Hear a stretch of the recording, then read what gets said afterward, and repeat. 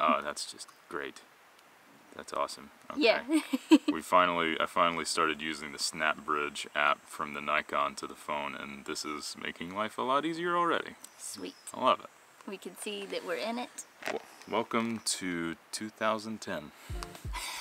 um, hey everybody. Hi guys. You, haven't, you haven't seen us in a while. Yeah, we kind of left you hanging a little bit, um, but we have good excuses as always.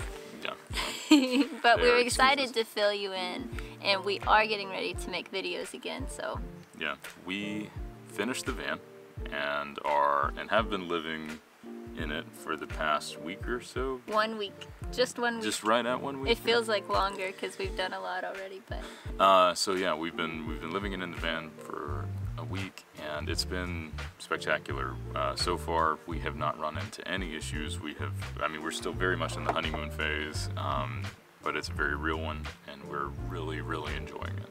We've been doing a combination of driveway surfing, paid campgrounds. We're currently at one of the most amazing free campgrounds we've literally ever been to anywhere. yeah.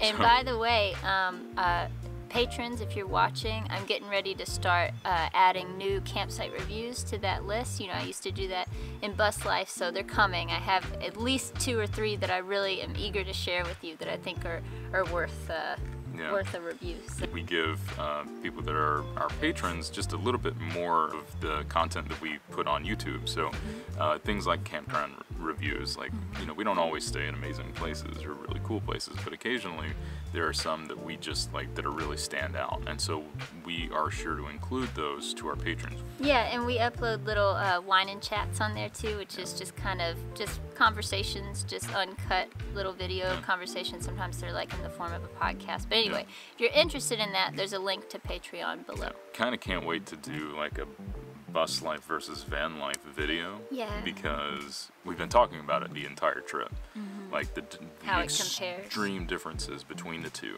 and um, and there are extreme differences, and there's a lot of similarities, but there are some really extreme differences, at least in our form of of bus life that we did before, to the version of van life that we're doing now.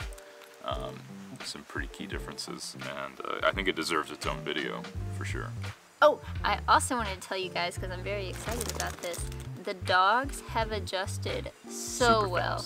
So well. It was my biggest concern in the bus. It was my biggest concern with the van. It's a smaller space. Of course, we're stepping over them sometimes, but But we step over them in like uh, no matter what the space. you know 800 square foot house or whatever. Is that large? I don't think that's. A. I big- think that's a small house.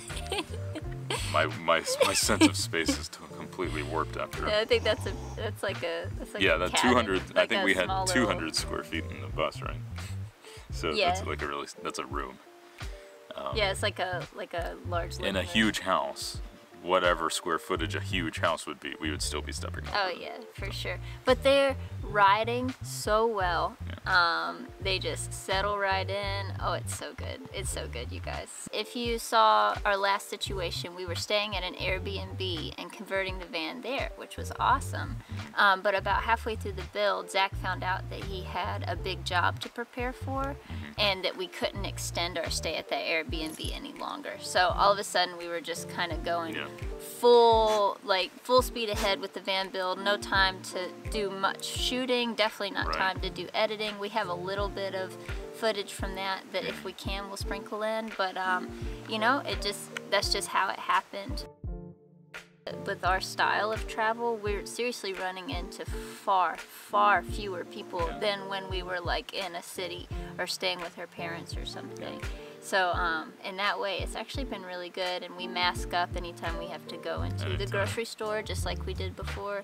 So um, yeah, It's great to be able to wash hands with soap and water. yes, have a proper sink. Yeah, that's actually interesting too, because you know when we would run and get groceries in the car, you get back to the car, you do a little hand sanitizer, which is better than nothing, but you know nothing beats beats soap and water, and we were able to just hop back in and get a good wash Yeah. up and Anyway. and washing and able able to like actually wash up right before you go into the store. That's true, too. something too. So So anyway, um, you guys stay tuned.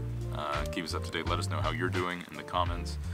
Um, yeah, sorry for seem, being gone for so long, but we just had a lot of stuff to deal with. Yeah, but it's good to be back. It is I'm good to really be back. excited to. Sh- we've already really experienced. We've already experienced so much in a week, and I can't wait to start sharing it again. So, Yeah, yeah.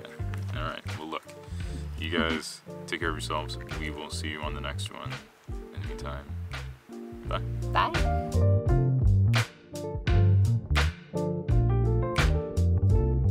You don't have a false spot, right? but it's not.